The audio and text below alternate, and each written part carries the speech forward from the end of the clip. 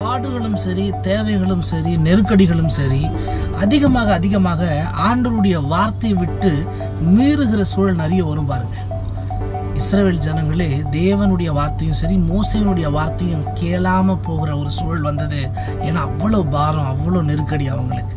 இதெல்லாம் மேற்கொள்ளாம காணான நிச்சயமா பார்க்க முடியாதுங்க.